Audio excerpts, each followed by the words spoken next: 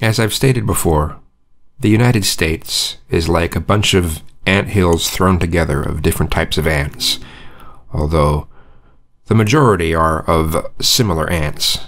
It's far, far too late to have an ethno state. It's far, far too late to push for monoculturalism. Sorry, but it's too late.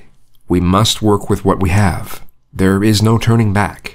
We must move forward regardless of how difficult it is to do sometimes. This cultural experiment isn't ready to come to an end just yet. We must learn to work together as we have for many decades, regardless of if who you have to work with has views that you find abhorrent. As I've stated before, it's all about how we treat people.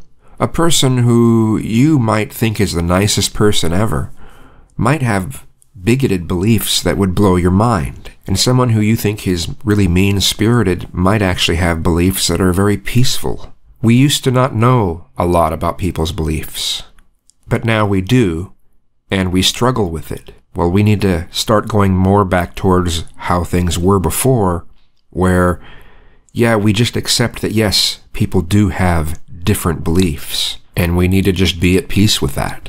We need to be able to get past our differences.